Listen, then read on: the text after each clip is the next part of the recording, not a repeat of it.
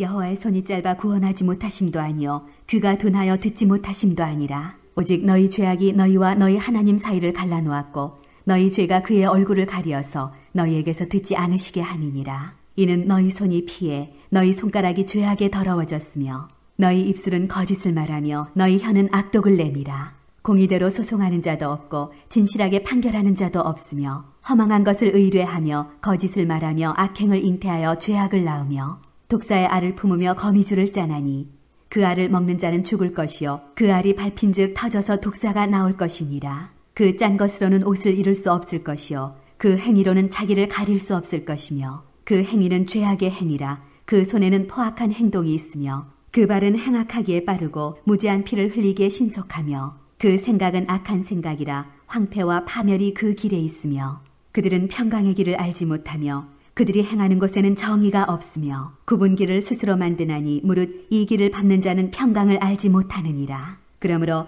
정의가 우리에게서 멀고 공의가 우리에게 미치지 못한즉 우리가 빛을 바라나 어둠뿐이요 밝은 것을 바라나 캄캄한 가운데 행함으로 우리가 맹인같이 담을 더듬으며 눈 없는 자같이 두루 더듬으며 낮에도 황혼 때같이 넘어지니 우리는 강장한 자 중에서도 죽은 자 같은지라 우리가 곰같이 부르짖으며 비둘기같이 슬피 울며 정의를 바라나 없고 구원을 바라나 우리에게서 멀도다. 이는 우리의 허물이 주의 앞에 심이 많으며 우리의 죄가 우리를 쳐서 증언하오니 이는 우리의 허물이 우리와 함께 있음이니라. 우리의 죄악을 우리가 아나이다. 우리가 여호와를 배반하고 속였으며 우리 하나님을 따르는 데에서 돌이켜 포악과 폐역을 말하며 거짓말을 마음에 잉태하여 나으니 정의가 뒤로 물리침이 되고 공의가 멀리 섰으며 성실이 거리에 엎드러지고 정직이 나타나지 못하는도다. 성실이 없어짐으로 악을 떠나는 자가 탈취를 당하는도다. 아멘. 여기까지 보겠습니다. 기도드리겠습니다. 하나님 아버지 감사드립니다. 오늘 저희들을 주님의 보좌 앞에 불러주시니 감사드립니다. 예수님의 보혈의 공로를 의지합니다. 흘리신 보혈로 저희들 한 사람 한 사람 정결하게 거룩하게 하여 주시옵소서 성령 하나님께서 우리 한 사람 한 사람에게 감화 감동하시고 역사하여 주시옵소서 하나님의 선하시고 기뻐하시고 온전하신 뜻을 이루어 주시옵소서 감사드립니다. 모든 것을 주님께 부탁드립니다. 홀로 영광 받으시옵소서 예수님의 이름으로 기도드립니다. 아멘. 할렐루야. 예. 오늘 주님께서 저와 여러분을 주님의 보좌 앞에 부르셨습니다. 예. 하나님 앞에서 저와 여러분의 삶 속에 놀라운 아, 영적인 변화가 일어날 수 있기를 바랍니다. 에, 병 중에요, 그 아주 어, 심각한 병이 있죠. 그게 병이 뭔가 하면 혈관이 이상이 생기는 병입니다. 그래서 여러분 동맥경화 그런 질병 아주 무서운 질병이죠. 그리고 이 혈관이요, 여러분 점점 점점 문제가 생기고 또 몸에 노폐물이 자꾸 생겨서 혈관을 통해서 그게 자꾸 다 돌아다니고 혈전이 생기고 그래서 그것이 가다가 머리에 뇌혈관을 막아버리면 얼마나 심각한 질병이 걸리게 됩니까? 그러니까 뇌혈관이 막혀버리면 뇌가 죽어버리는 거죠. 그래서 예, 여러분 고통받는 사람을 참 많이 봅니다. 얼마 전에 예, 길을 그 차를 타고 뒤를 가다가 그 누가 얘기를 하시더라고 길가에 걸어가는 사람을 보면서 아니 저 사람은 저렇게 젊은데 아니 저렇게 젊은 분인데 왜 저렇게 지팡이를 짚고 그러니까 한 손을 이렇게 늘어뜨리고 지팡이를 짚고 막 억지로 억지로 몸을 막 걸어가는 거예요. 근데 한쪽이 이렇게 마비가 되는 것 같아요. 한쪽이 제대로 힘을 못 쓰는 것 같아요. 아주 젊은 사람이에요. 그런데 여러분 뇌혈관에 이상이 생겨서 그게 막혀버리니까 그런 문제가 생겼는 것 같아요. 그래서 여러분 이 뇌혈관에 문제가 생기는 이런 문제는요. 여러분 예, 아주 급박하게 치료를 해야 되고 긴급하게 치료를 해야 되잖아요. 그래서 빨리 여러분 병원에 가서 여러분 뇌혈관이 막힌 곳을 뚫어주고 또 이 저는 잘은 모르지만 혈전 용해제 그런 것을 써서 빨리 이제 맺혀 있는 것들을 이렇게 풀어서 어, 녹여서 그렇게 치료해야 되잖아요. 저희 장모님도요. 그 잘 몰랐는 거죠. 갑자기 어지러워 가지고 갑자기 쓰러졌는데 그거를 그 병원을 그 그러니까 병원을 제대로 가야 되는 거죠. 큰 대학병원 같은데 아주 응급실 같은데 그런데 막 빨리 쫓아갔으면은요 그렇게 병이 심각하게 되지 않았을 거예요. 그런데 그걸 모르고 여러분 한방병원에 갔는 거예요. 한방병원에 내 혈관이 문제가 생겼는데 한방병원에 가면 됩니까? 병원을 제대로 찾아가야 되죠. 여러분 교회도 마찬가지인 것 같아요. 교회도 여러분 교회가 다 똑같은 교회지. 그거는요 병원이 다 똑같은 병원이지 가는 사람 소리하고 똑같습니다. 여러분 교회는 다 똑같은 교회가 아닙니다. 여러분 물론 예수님을 주인으로 고백하는 어, 정통 예, 교회는 뭐 일반적인 의미에서는 같은 교회라고 할 수 있죠. 그러나 여러분 병원이 다 틀리듯이 교회도 예, 다 틀리다라는 겁니다. 그래서 병원을 제대로 찾아가지를 못하고 아니 그 뇌혈관에 생기는 병을 그 무슨 한방병원에 가서 치료하겠다고 그러니까 됩니까? 그게 이미 여러분 이 혈관이 문제가 생겨서 마비가 와버렸는데 그러니까 한 번 생겨버리면 돌이키지가 돌이키기 힘들거든요. 그러니까 제가 왜 이 새벽에 이 말씀을 드리는가 하면 여러분 우리가 주님과의 관계도 마찬가지입니다. 주님과의 관계가 여러분 막혀버리면 우리 죽는 겁니다. 예? 주님과의 관계가 끊어져 버리면 죽는 겁니다. 그래서 나는 포도나무요 너희는 가지니 저가 내 안에 내가 저 안에 있으면 이 사람은 과실을 많이 맺나니 예? 너희가 나를 떠나서는 아무것도 할 수 없느니라. 한 따라합니다. 너희가 나를 떠나서는 아무것도 할 수 없느니라. 그렇죠. 우리는 주님과의 관계가 가장 중요한 겁니다. 승리가 어디 있습니까? 주님과 바른 관계 속에 승리가 있습니다. 여호수아의 군대가 나가서 전쟁을 치를 때에 여러분 그 승리가 어디에 있습니까? 모세가 하나님 앞에 기도해서 하나님께서 도우시고 하나님께서 역사하시는 하나님이 싸우시는 전쟁으로 만들어 하나님과의 관계를 가장 소중하게 여기는 것 얼마나 중요한 것입니까? 여러분 하나님 앞에서 이 하나님과 단절이 되고 하나님과 관계가 문제가 생기고 여러분 동맥경화 걸린 사람처럼 여러분 혈관이 막힌 사람처럼 그렇게 되면 마비가 일어나는 겁니다. 신앙이 마비되는 겁니다. 신앙이 제대로 움직이지를 못해요. 여러분 문제가 생기잖아요. 그럴 때 우리는요. 여러분 우리의 가장 좋은 병원 하나님의 말씀으로 돌아가야 돼요. 하나님의 말씀의 의사가 되시는 예수님 앞에 돌아가야 돼요. 예수님은 최고의 전문이시거든요. 그래서 말씀으로 성령으로 우리를 고치시는 겁니다. 막혀 있는 것들을 뚫어 놓으시고 맺혀 있는 것들을 풀어 놓으시고 하나님과 관계를 회복시키시는 거죠. 그게 하나님의 역사예요. 그러니까 우리는 하나님 앞에 이 영적인 사실을 분명히 알아야 되는 거예요. 제가 어저께 이제 그 우리 옥상에 이제 작은 텃밭이 있잖아요. 제가 봄이 되어서 올라가 봤습니다. 그랬더니 그 봄이 봄이 되니까 이게요. 여러분 작년에 앙상한 가지 죽었던 것 같은 그 가지 가지에서 여러분 맹아리를 맺어서 이제 잎이 나오려고 준비를 하는 거예요. 포도나무가 예? 포도나무가 그렇게 준비를 하고 있는 거예요. 그리고 그 옆에는 또 앵두나무가 한 개 있거든요. 거기에는 꽃이 피었어요. 꽃이 얼마나 예쁜 꽃이 쫙 피었는지 몰라요. 그러니까 열매 맺으려고 준비하는 거예요. 그런데 만약에 생각해 보세요. 그 가지를 뚝 잘라놔 보세요.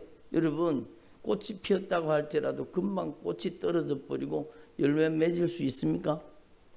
절대로 결단코 열매 맺을 수가 없는 겁니다. 믿음이 무엇입니까?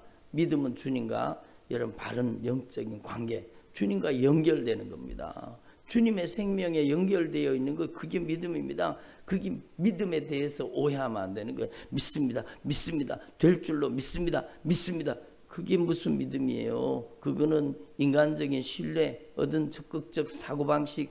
여러분, 무슨 미국의 그 여러분 그 로버트 슐러나 로만 핀센트 빌이나 그런 분들이 막 성경에서 대단한 믿음의 법칙을 발견한 것처럼 그게 적극적 사고방식이에요. 그것도 일종의 믿음은 될 수 있지만 성경이 말하는 생명의 믿음, 성경이 말하는 여러분 하나님의 역사가 나타나는 하나님께서 여러분 그 진액을 그대로 공급하면 여러분 포도나무기 때문에 포도 열매가 맺히는 거죠. 그렇게 하나님의 역사가 나타나는 게 그게 진짜 믿음이죠. 그래서 결국에는요 그 로버트 슐러가 세웠던 그 교회가 여러분 다른데 팔려 넘어갔잖아요. 그러니까 얼마나 안타까운 사실이에요. 그러니까 여러분 하나님 앞에서 저와 여러분이 무엇보다도 바른 믿음을 가질 수 있기를 바랍니다.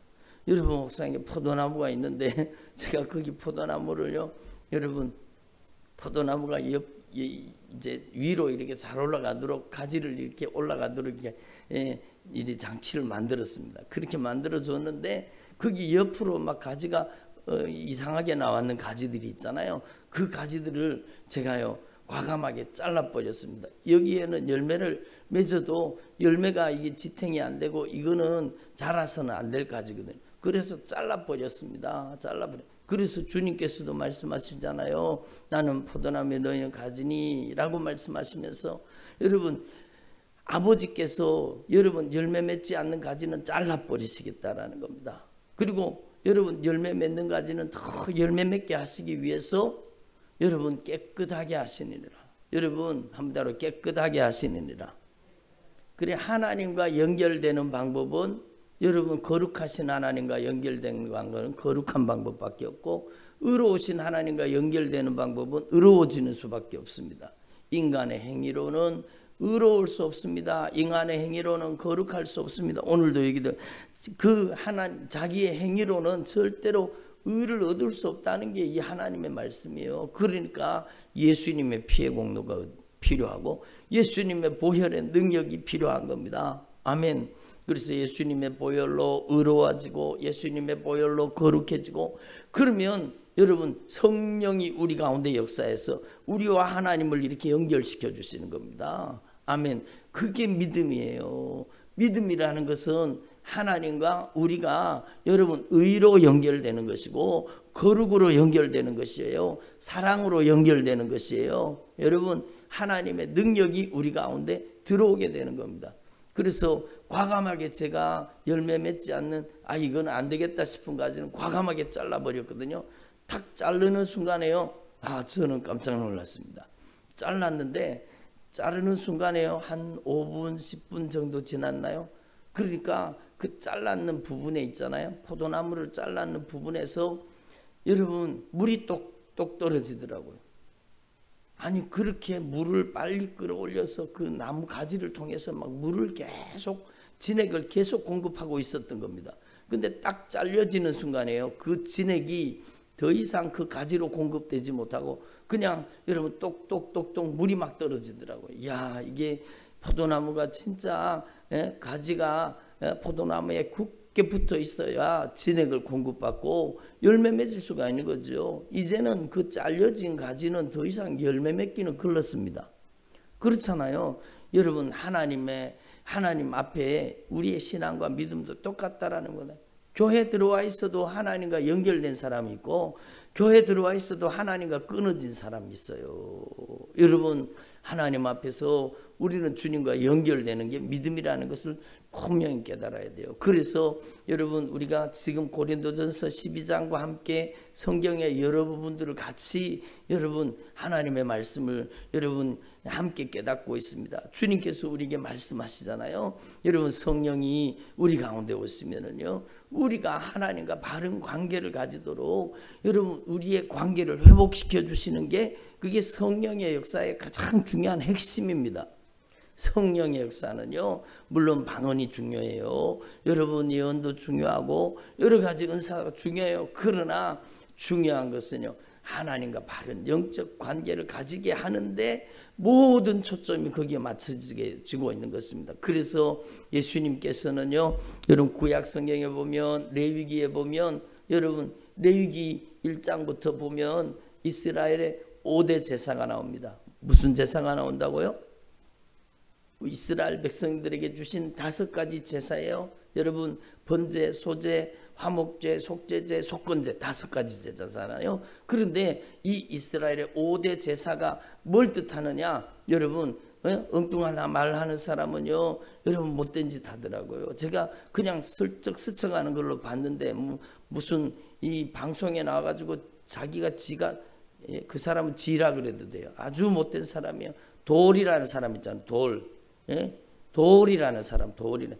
진짜 돌이에요, 돌. 진짜 무식한 사람이에요. 자기가 무슨 박사학위를 가지고 다 아는 것처럼 얘기하는데 영적인 지식에는요, 아주 캄캄한 사람이에요. 여러분, 이 사람 얘기 들으면 죽습니다. 그 사람을요, 신학교 교수래요. 아니, 무슨 그런, 제가 심한 말이 나올라 그래서 좀 절제를 하는데, 아니, 그런 인간이 무슨 교수의 교수가 여러분 그 인간이 하는 짓이 뭔가 하면 제사를 지내도 된대 아니 이런 못된 놈이 어디 있어요 여러분 구약 성경에도 다 제사가 있었다고 하나님이 다 제사를 받았으니까 막 제사를 지내 이런 나쁜 놈이 어디 있습니까? 여러분 구약 성경의 제사는 제사가 아니라 하나님과의 관계의 연결입니다.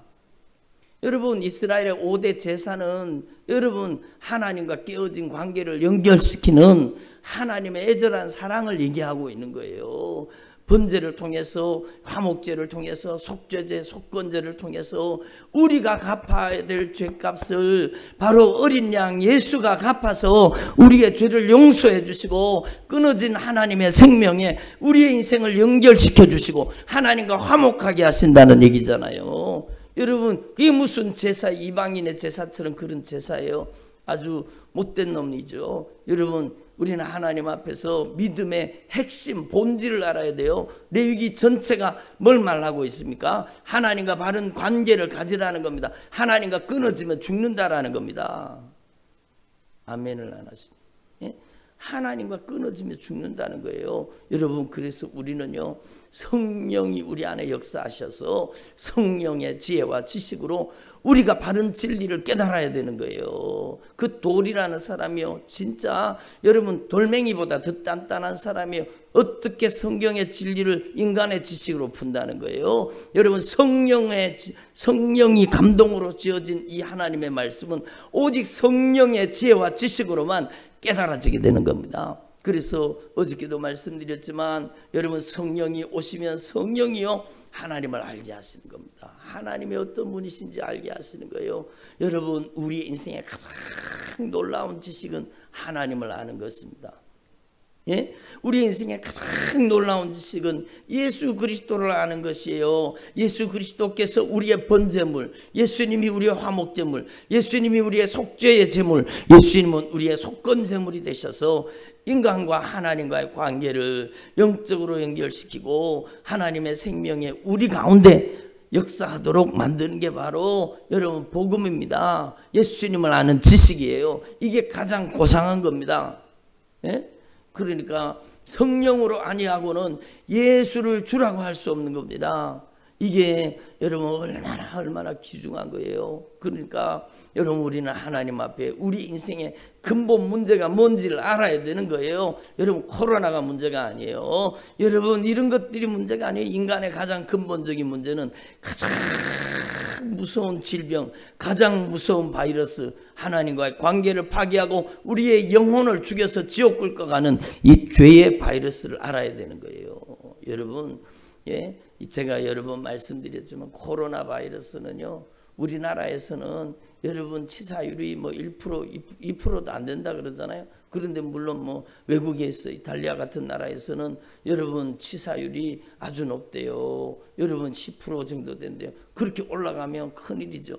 근데 여러분 한번 생각해 보세요. 여러분 죄는 죄의 바이러스는 치사율이 얼마입니까? 100%예요, 100%. 100%. 죄의 바이러스는 우리가 하나님과 관계를 끊어놓고 그 영혼을 죽여서 영원한 지옥에 들어가게 하잖아요. 여러분 이 세상 가운데서도요 죄가 있는 사람은 하나님과의 관계가 끊어져서 여러분 그 모든 고통이 그 사람 속에 여러분 임하게 된다는 게 성경 말씀이잖아요. 여러분 하나님 앞에 우리는 분명히 깨달아야 돼요. 여러분 하나님이 손이 짧아 구원하지 못하시는 것이 아니요 하나님이 귀가 둔하여 듣지 못하시는 것이 아니라 오직 너희와 너희 하나님 사이가 죄악으로 가라막혀 있다. 죄 때문에 끊어져 있다. 그게 인간의 근본적인 문제라는 겁니다. 아멘. 그래서 저와 여러분이요. 하나님 앞에서 성령의 지혜와 지식으로 여러분 예수님을 알고 여러분 예수님 앞에서 우리의 죄가 깨달아지기를 바랍니다. 성령의 가장 놀라운 성령의 지혜의 말씀, 지식의 말씀은요, 우리의 죄를 깨닫게 하시는 겁니다. 아멘. 여러분, 자기가 중병이 걸린지 모르면 여러분 병원에 가서 치료받을 사람이 어디 있어요? 없잖아요. 그래서 암 같은 질병은요, 여러분 벌써 안에서 자기를 죽이려고 점점 암이 발생하는 건 보통 3년에서 7년 전부터 시작됐다 그러더라고요. 여러분 3년, 7년 전에 이미 심각한 스트레스나 무슨 여러분 고통과 아픔을 통해서 암이 내 안에 자라나는 거예요. 점점 점점 암세포가 자라나는데도 자기가 자각 증상이 없어요. 그럼 이 사람은 치료받을 여러분 기회가 없어요. 빨리 내 안에 있는 암병이 깨달아지면 여러분 암병을 진단하면 여러분 빨리 병원에 가서 치료받을 수 있는 길이 열리는 것처럼 우리도 마찬가지예요. 죄보 암보다가 더 무서운 이 죄라는 질병은요. 여러분 우리를 죽여서 100% 사망에 이르게 만들고 우리를 영원한 지옥에 빠뜨리는 겁니다. 이게 얼마나 무서운 거예요. 여러분 세상에서 가장 무서운 건 죄입니다. 죄. 네? 여러분 죄와 악한 마귀 역사가 가장 무서운 거예요. 여러분 이게 얼마나 무서운지요. 인간 속에 이 죄가 들어가면 이 죄를 짓게 만드는 여러분 악한 영의 역사가 들어가면 그 사람을요 여러분 제가 어저께도 말씀드렸지만 요번에 막 조모식인가 가는 아이가 여러분 아이죠. 아이 25밖에 안 되는 아이잖아요. 그런데 그 무서운 일을 벌이게 만드는 것이요. 여러분 이게 어둠의 권세. 여러분 이 죄의 바이러스예요. 그러니까 이중인격으로 다중인격으로 여러분 악한 사단에게 이용당하잖아요 여러분 얼마나 많은 사람들의 인생을 파괴하고 여러분 비참한 여러분 인생을 만들어 갑니까? 그게 여러분 무서운 어둠의 권세예요. 그러니까 우리는 하나님 앞에서 성령의 지혜와 성령의 지식으로 여러분 죄가 깨달아질 수 있기를 바랍니다. 그리고 죄가 깨달아져서 주님은 회개할 수 있는 기회를 주시는 겁니다. 그게 우리 인생에 주시는 가장 놀라운 기회예요. 여러분 하나님 앞에 기회 지나가기 전에 저와 여러분이 하나님의 말씀을 통해 죄를 깨닫고 돌이켜 회개할 수 있기를 바랍니다. 우리가 앞으로 말씀을 통해 배우겠지만 예언의 은사가 뭡니까? 예언은요, 여러분 우리의 죄를 깨닫게 하시는 거예요. 성령이 우리의 죄를 깨닫게 하시는 거예요. 뭐를 통해서? 말씀을 통해서. 예? 말씀을 통해서 죄가 깨달아질 때 여러분 그게 성령의 지식입니다. 지식. 여러분 예? 초등학교, 중학교, 여러분 고등학교, 대학교 그 지식은 여러분 좀 없어도 괜찮아요. 우리 가운데 이 확실한 영적인 지식이 와서 여러분 영적인 지혜가 와서 우리가 죄 때문에 망하는 것을 깨달을 수 있기를 바랍니다. 인간은 뭐 때문에 망하느냐? 죄 때문에 망하는 겁니다. 소돔과 고모라가 망한 이유가 무엇입니까? 여러분 성적인 타락, 여러분 무서운 죄가 그 도시를 망하게 만드는 거예요. 여러분 하나님 앞에서 저와 여러분의 역사를 통해 증명된 겁니다. 로마라는 그 큰 나라가 여러분 망하게 된 로마가 망하게 된 이유가 무엇입니까? 여러분 로마가 바로 여러분 욕심 때문에 정욕 때문에 성적인 타락 때문에 망한 것이잖아요. 이 사람들이요, 여러분 로마 시대의 화장실이나 로마 시대의 그 고고학적 발견된 그 장소들을 여러분 제가 전에 본 적이 있는데요. 거기 사람들이요, 막 밤새도록 부어라 마셔라 먹고는 가갖고 또 가서 꾀거리고 토하고요, 또 가서 부어라 마셔라 그러고는 또 가서 꾀하고 퇴하고. 이게 무슨 짓입니까? 이게 무슨 짓입니까? 그리고 얼마나 성적으로 타락하고요. 여러분 죄가 간영하면 하나님의 심판이 다가오는 것입니다. 그래서 우리는요 하나님 앞에서 여러분 죄를 회개하는 주의 종들이 되기를 바랍니다. 최고의 영적 지혜와 지식은 말씀을 통해서 죄를 깨닫게 하시는 거예요. 그 죄를 깨달은 사람이 하나님 앞에 돌이켜 회개하면 하나님과의 생명으로 연결시켜 주시는 거예요. 포도나무 가지는요 잘랐다가 다시 갖다 붙일 방법이 없잖아요. 그렇잖아요. 그런데 여러분 저와 여러분은요 회개하면 주님이 연결시켜 주시는 거예요. 예? 회개하면 주님의 생명에 연결시켜 주시는 거예요. 여러분 머리에 뇌혈관이 문제가 생겨서 한 번 막혀버리면은요 그 뚫을 일이 뚫을 수가 없어요. 그게 한 번 마비가 돼버리면 더 이상 가능성이 별로 없는 거예요. 평생 이렇게 평생 그렇게 마비된 상태로 살아야 되는 거예요. 그런데 여러분 주님께서는요, 여러분 죄의 동맥경화를 뚫어주시는 겁니다. 예수님의 보혈로 녹여주시고 뚫어주셔서 우리가 하나님과 바른 관계를 맺게 하시는 거예요. 그게 믿음이라는 겁니다. 믿음은 주님이 우리 안에 역사하고 우리가 주님 안에 들어가는 것이 믿음이라는 것입니다. 그래서 여러분 하나님의 말씀을 확실히 깨달으시고 여러분이 하나님 앞에 견고한 믿음의 종들이 되기를 바랍니다. 여러분 이번에 코로나 얼마나 좋습니까? 아이고 이거 큰일 났다. 여러분 물론 큰일이에요. 여러분 전 세계적으로 경제가 여러분 어려워지고 나라 경제가 어려워지고 많이 고통받는 사람들이 있는 게 사실이에요. 우리가 그래서 기도해야 돼요. 그러나 예수 믿는 믿음의 사람들은요 이것을 그냥 여러분 낙심하고 좌절하고만 있지 말고 이걸 기회로 삼아야 되는 것입니다. 아멘을 안 하시는. 이걸 기회로 삼아야 되는 거예요. 여러분 회개할 수 있는 기회. 돌이켜 회개하고 주님 앞에 엎드릴 수 있는 기회, 주님의 말씀을 주하로 묵상할 수 있는 기회로 삼아야 되는 거예요. 여러분 다른 때보다 더 많이 성경 읽고 있습니까? 여러분 하나님의 말씀이 여러분을 고치시는 거예요. 하나님의 말씀이 최고의 지식이요, 최고의 지혜요. 여러분 하나님의 말씀을 깨달으면 하나님과의 관계가 회복되는 겁니다. 그래서 여러분 얼마나 좋습니까? 요즘에는 교회에 여러 가지 모임들이 하나도 없잖아요. 여러분 교회 모임이 하나도 없어요. 그러니까 얼마나 좋아요. 여러분 들어앉아 가지고는요. 여러분 하나님의 말씀을 주야로 묵상하고 하나님 앞에 기도하고 주님과 바른 영적인 관계를 가지고 여러분이 더 깊이 기도할 수 있기를 바랍니다. 여러분 저도 여러분 기도하다가 보면 아침에 7시, 8시, 9시, 10시 막 그렇게 막 어떨 때는 막 기도를 하나님께서 할 수 있게 은혜를 주실 때가 여러 번, 여러 번 계속 하나님 앞에 그렇게 기도하려고 하는 거예요. 여러분, 왜요? 여러분, 하나님 앞에 우리가 기도해야 될 기회이기 때문입니다. 하나님과 영적인 관계를 회복해야 될 절호의 기회입니다. 그래서 여러분 오늘 이 말씀을 집에 가서 다시 한번 읽어보세요. 이 말씀 하나하나 살펴보고 여러분 이 말씀을 의미를 다시 한번 생각해 보면 좋겠지만 시간이 많이 갔는데요. 여러분 우리가 망하는 이유는 여러분 오직 너희와 너희 죄악이 너희와 너희 하나님 산을 갈라놓았고 너희 죄가 그의 얼굴을 가려서 너희에게 듣지 아니하시게 함이니라. 여러분 하나님 앞에서 여러분 이 심각한 우리의 죄를 깨닫고 여러분 영적인 동맥경화에 걸려서 영적으로 여러분 혈관이 막혀서 여러분 마비가 되었는 사람들이 얼마나 많아요. 그러니까 우리는요 그게 영적인 동맥경화증인 줄 모르는 거예요. 영적으로 마비가 된 걸 모르는 거예요. 예? 여러분 하나님 앞에서 여러분 우리는 정상이기 때문에 막 잘 걸어 다니고 가고 싶은 데 가고 다 그러잖아요. 그 이미 영적인 동맥경화에 걸리고 여러분 영적으로 여러분 하나님과 관계에 영적인 혈관이 막히게 되면은요 여러분 자기 힘으로 움직이지를 잘 못하는 거예요. 그게 여러분 영적으로 건강이 문제가 생겼다는 거잖아요. 그러므로 여러분 저와 여러분이 오늘 이 말씀을 통해 확실하게 주님과의 관계를 점검하고 여러분 성령이 우리 안에 오시면 성령이 예수를 주로 고백하게 하십니다.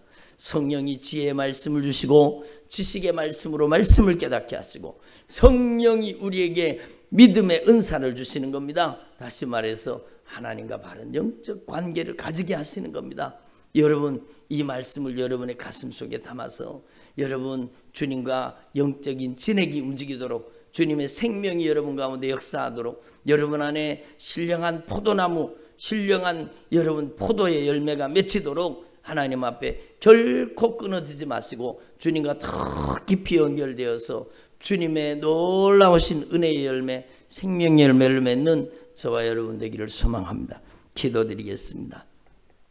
하나님 아버지 감사드립니다. 오늘 귀한 새벽 저희들을 주님 앞에 불러주시고 주님의 목소리를 듣게 해주신 것 감사드립니다.